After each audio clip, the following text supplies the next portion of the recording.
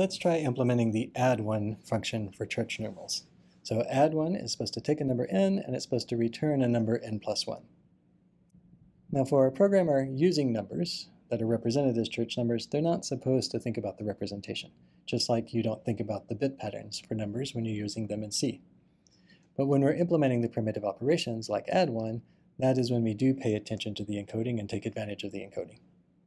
In particular, since add1 is supposed to return a number, we know that it needs to return a function that takes an f and an x and then does something with that f and x. We further rely on the encoding because what do we need to do with f and x? We need to apply f to x n plus 1 times. And we don't know what n was, but it was given here. We do know, since we're talking about that particular church encoding, that if we apply n to f and x, that will already apply f to x n times add1 is supposed to return a function that applies f n plus 1 times. We've already done it n times, so we can just do it one more time. And now we have a function that calls f on x n plus 1 times. We can confirm that this works. We can try it out to make sure um, by trying some examples, like add 1 of 0. So if we call add 1 of 0, 0 goes in for n here, and so we get lambda f, lambda x, f of 0 f x, just like I've written here.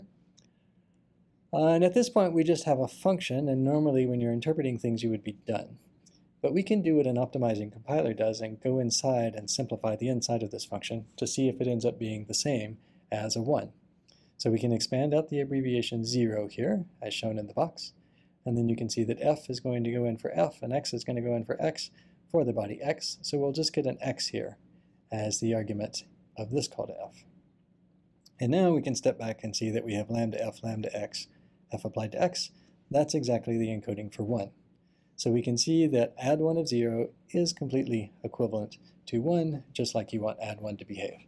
You could try plugging in other numbers here like 3 or 4 and making sure that the result is 4 or 5.